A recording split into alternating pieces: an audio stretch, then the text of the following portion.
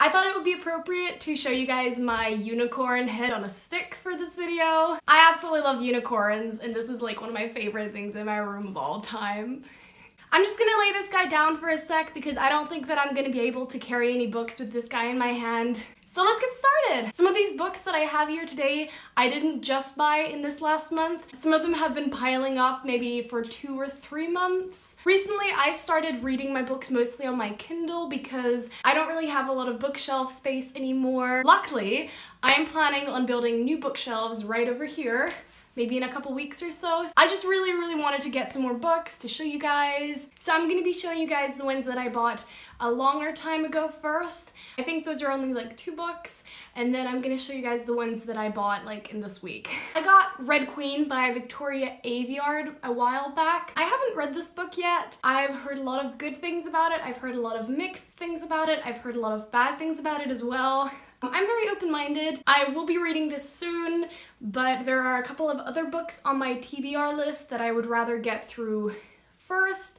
and maybe I can get started on this one in a couple weeks or so. Now the second one I'm going to show you guys I got about a month ago and that is the Ever Never Handbook by Soman Chainani. I think I'm pronouncing his name right. This is basically a companion novel to the School for Good and Evil books, which are these ones right here. These were one of my favorite books of all time. It is actually a middle grade series and it's basically about these two girls who get kidnapped. In this world, every four years, two people get kidnapped and are taken to this school for good and evil where one of them goes to the school for good and learns how to become, I don't know, a princess or a prince or a knight or just someone who's really good and the other person gets sent to the school for evil where they learn how to be evil, they learn how to cause mischief, they learn how to cast evil spells on people.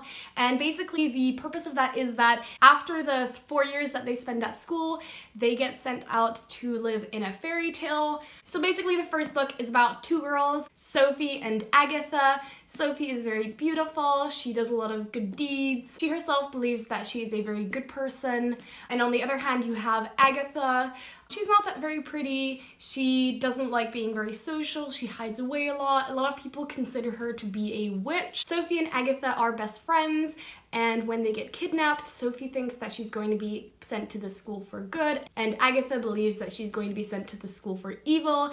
But everything just gets turned upside down when Sophie ends up in the school for evil and Agatha gets sent to the school for good. And it's basically just about the two of them trying to survive, learning a lot more about themselves, learning a lot about their past. Despite it being a middle grade book, it has a lot of dark themes. It makes you question who really is good, who really is evil. It has a lot of best friend versus boyfriend themes. I would definitely recommend it to any of you who would really like to read about a deep friendship with meaning. So this Ever and Never handbook basically just, um, it has a lot of illustrations. I would not read this if you haven't finished all three books yet because it has spoilers on the inside.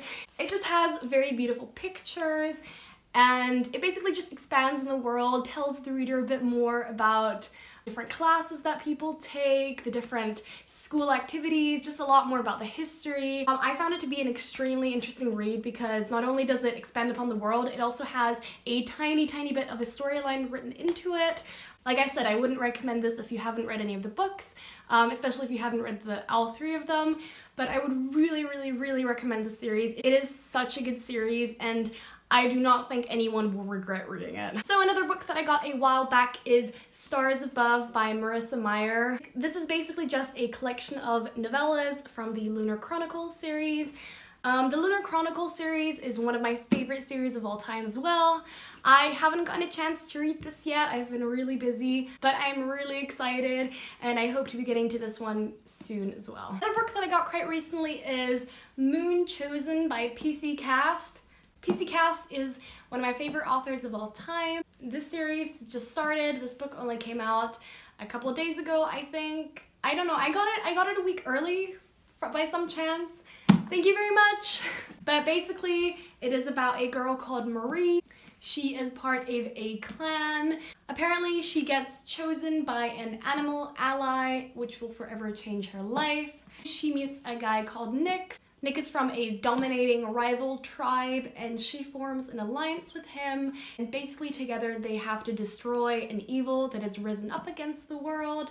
It's basically just about mythology and magic. If I'm not mistaken, I think that the clans that they are referring to here could be the Native American clans. I'm not really familiar with the culture of those as much as I would like to be, but PC Cast is absolutely trustworthy when it comes to writing about people's heritage, writing about magic, writing about mythology. There's usually a goddess involved who helps the characters. I absolutely love PC Cast's writing and I basically read up to chapter 4 so far. Um, I've been really enjoying it but unfortunately I've been kept really busy with my start of university. I definitely hope to finish it sometime soon. The next couple books came in the post yesterday and today. So the first one that came is Dorothy Must Die by Danielle Paige. Um, I think most people know what this book is about. I think the third book came out not too long ago. I've been meaning to read this for over a year now. I'm just really, really, really excited. I really hope to get to this one soon as well. So the next one that I want to show you guys is probably not a very well-known book and it is The Priest by Monica Laporta. I think this book is actually self-published off Amazon. I read the synopsis on Goodreads and I was just completely taken by it. So basically it is about a place called Genetia. I think I'm pronouncing that right.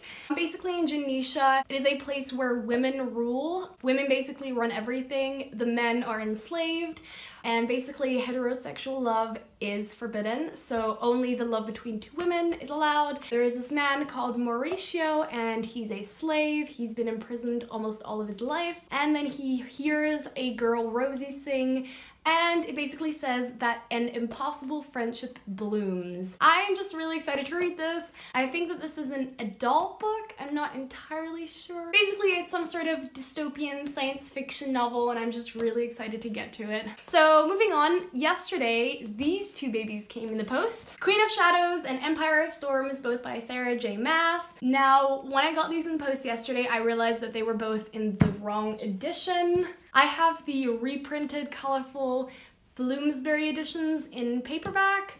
These one right here, I think these are really, really beautiful. These are really, really, really beautiful covers as well. It's just that they don't really match the other half of my series, and I get really frustrated when my books don't match. Unfortunately, the colorful paperbacks usually only come out about a year after the book is published. Uh, this is because I think that in the US, the hardcover colorful books come out first. Now, I love hardcover books and I would have no problem buying them if hardcover books weren't just so freaking expensive here in Europe. I don't know how expensive they are in the States, but here it's not abnormal to be spending about 18 or even 20 euros on a hardcover book. I don't think that I have enough money to get everything in hardcover. I also just like the feel of a paperback. I love how it doesn't take up as much space as a hardcover book. So I decided to keep Empire of Storms and send Queen of Shadows back. Um, Amazon was just really, really nice and they told me that I didn't have to send the item back, but that I would get a refund anyway. So I already ordered Queen of Shadows in the edition that I really wanted. And two packets came in the post today, so I'm gonna open them right in front of you and hopefully it's gonna be in there. So I bought two books today. Um, I'm just gonna open, I think this is probably the one you want to open first. Mm. Oh, I hate how these always break off. Yay! Here we have Queen of Shadows by Sarah J Maas in the beautiful, beautiful, beautiful red edition that I really, really wanted. Now these all match. I'm only just gonna have to wait a year for Empire of Storms to come out in this beautiful edition. Uh, so far, I've only read Throne of Glass and Crown of Midnight. I read these a while back. I think I wasn't really in a good place in my life when I read these. It was when I started university last year. I was really sad. I was really depressed. I didn't really come into it with a good mindset, so I decided to reread these, especially because I just heard so many good things about the series. Everyone's in love with it, and I am an absolute fan of Sarah J Maas's A Court of Thorns and Roses series.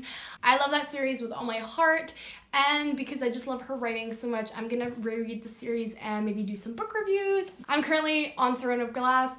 Um, I'm reading it on my Kindle because it's really handy to be able to take my Kindle everywhere. I can read it in the tram, I can read it on the bus.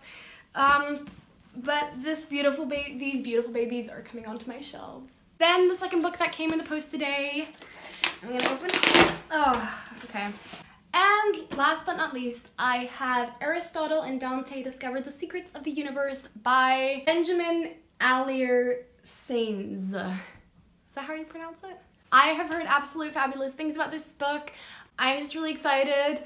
I think that the cover is just gorgeous. I'm just really excited to get into this and hopefully I can get to this in the next couple of weeks as well.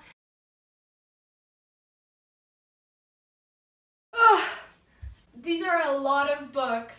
I'm just gonna put them down before I cause some sort of accident. So there you have it. Um, I hope you guys enjoyed this video. If you liked it, please give it a thumbs up. And I will definitely be seeing you guys soon with another video. See you next time. Bye!